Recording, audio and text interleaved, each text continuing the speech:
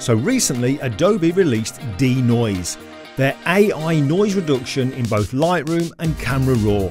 But how does it compare to other noise reduction software that's been out on the market for quite a while now? And people like you and me have paid good money for software like Topaz, DxO, ON1, and Luminar. Let's find out. Okay, so Adobe's Denoise came out recently and there's definitely been a mixed reaction. Some folks like me getting great results, some experiencing a few crashes, some saying it takes a really long time to process, and some not even being able to make use of it due to their current computer not being powerful enough to support it. Now, Adobe Denoise apparently uses artificial intelligence, and the interface couldn't be more simple and straightforward. Unlike some of the other software available, it only works on RAW files, and there's just an amount slider and a preview area. So let's do a comparison with other noise reduction software using this portrait here that I took of a World War II veteran, Squadron Leader Eric Robinson. This is the final edit, and this is the original RAW image, which you can see was shot at an ISO of 1250. If I zoom in on the raw image, you can see there's definitely noise visible in the shadow areas. And you can also see how that noise has affected detail in the clothing and on his face. So let's kick off then with the raw file open and I'll go to the detail tab in Lightroom and choose denoise. As soon as I do, this window opens up and straight away Lightroom gets to work giving me a preview of what the noise reduction would look like using the default setting of 50. Now, it only takes a moment or two before we get to see the preview, which we can click down on and release to see a before and after, and also click and drag around to see different areas of the picture. This works fine, but I wish it had a smaller thumbnail included too that you could tap down on or drag the magnifier around to move to that part of the picture quicker, much like we have the navigator in Lightroom when we zoom in. Instead, you click on the minus to zoom all the way out and then tap on the area you want to zoom back in. But anyway, you can see that even at the default settings, this has given a great result. The noise has definitely been reduced, but it's done really well to still maintain the texture in the canvas effect background I was using.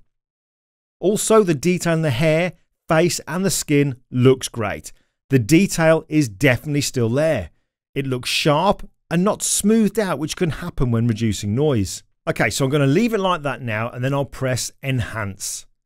Before I do, you can see here an approximation of how long it will take to process. So I'll click on Enhance. When I do, we get back into Lightroom and we can see the progress bar in the top left as Lightroom creates a DNG copy and applies denoise to that rather than our original RAW file. And here is the process result, which does look really good. Okay, so I'll now drag this file into this noise reduction folder here that I've made. Next, let's try Topaz Denoise, which I think it's fair to say is currently the most popular noise reduction software. So I'll go to Photo, Edit in, Topaz Noise AI. Now, Topaz Noise AI isn't just limited to working on raw files, so I'll open this up in Topaz Denoise as a TIFF with Adobe RGB color space and high quality settings. Then I'll click on Edit. So when Topaz opens, I'll go to Split View so I can move this vertical divider to see the before and after. The original image on the left of the line and the noise reduction version on the right hand side of the line. There's also this magnify view which I really like so you can quickly move to a portion of the image. We have a few options we can choose from. We have standard, clear, low light, severe noise and raw and I can click on compare to see what each of them will do. Now when I do that straight away I can see that each does give different results but what's really interesting is this.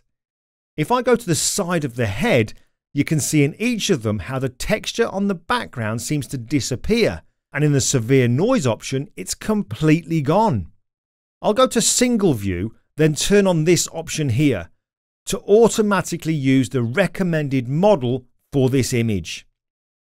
We also have this model preference here. If I turn it on, it will detect the recommended settings for this image, controlling the remove noise and enhance sharpness sliders. In fact, when we do that, the clothing here has definitely lost all of its texture. and the hair almost looks like brushstrokes. But anyway, I'll click on apply so that processes the image and send it back into Lightroom.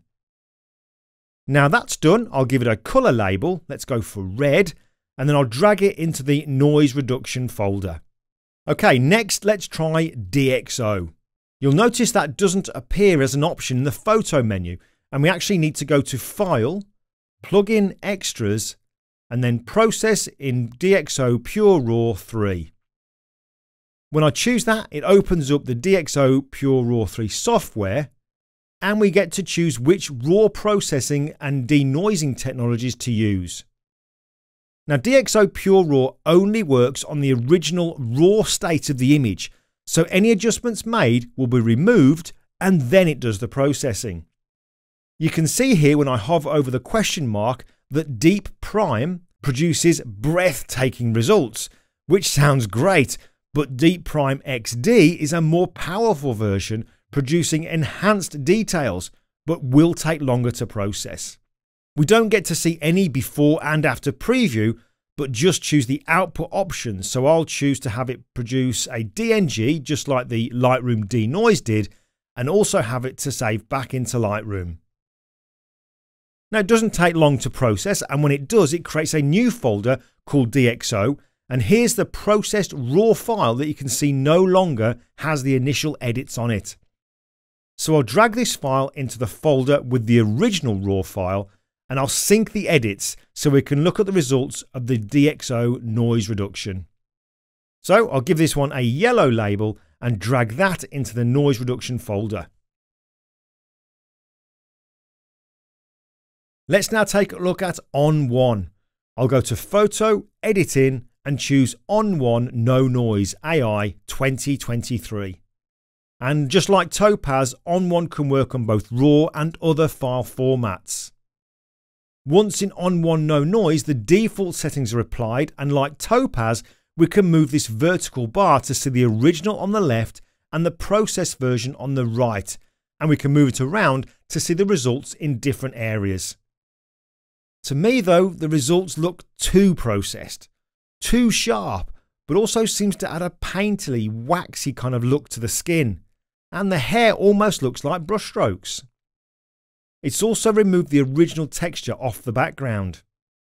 Now I can change the AI model used from original to high detail, but that now looks way overdone. Look at how that's affected the skin on the cheeks being over sharpened. There's also the option to use the Tack Sharp AI software with the No Noise software by choosing both. But again, that looks over processed. I'll just choose No Noise and Original and click on Done. That sends it back into Lightroom, so I'll give this one a blue label and drag it into the noise reduction folder. Lastly, we have Luminar Neo. So I'll send that over as a TIFF. And once open, I then go to Edits and Noiseless AI. Luminar Neo recommends the AI model to use, which in this case it tells me to use the low option. It then does this fake AI display animation type of thing, which is cool the first time you use it, but then does get a little bit tedious. Zooming in and out is a right raw pain in the ass with this software. But if I do manage to get in close, you can see how the low setting still has some noise visible. So let's try middle. Again, we get this pointless animation and then I'll zoom in to 200%. Let's just drag it so we can see hit. Actually, no, hold on. Let's try that again. Let's go for 200% and drag it to the right.